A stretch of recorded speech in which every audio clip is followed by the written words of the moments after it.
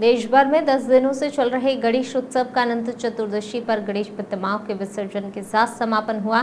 आपको बता दें, इस दिन ढोल नगाड़ों के साथ धूमधाम से गौरी पुत्र गणेश को विदाई दी जाती है। इसी कड़ी में मध्य प्रदेश के पवई में भी हवन पूजन के उपरांत गणेश प्रतिमाओं का विसर्जन किया गया है। इस दौरान गणपति बप्पा मोरिया के बरस दो फिर से जय घोष के साथ बप्पा को बधाई दी गई। वहीं अध्यक्ष के आदेशानुसार सुरक्षा व्यवस्था के पुख्ता इंतज़ाम किए गए थे।